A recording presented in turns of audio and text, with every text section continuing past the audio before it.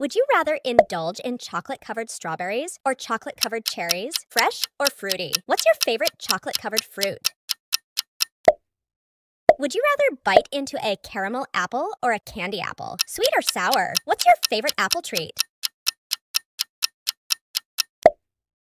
Would you rather dip into Fun Dip or wear a ring pop, powder, or bling? What's your favorite nostalgic candy? Would you rather chew on Sour Patch Kids or Sour Punch straws? Sour gummies or sour straws? What's your favorite sour treat?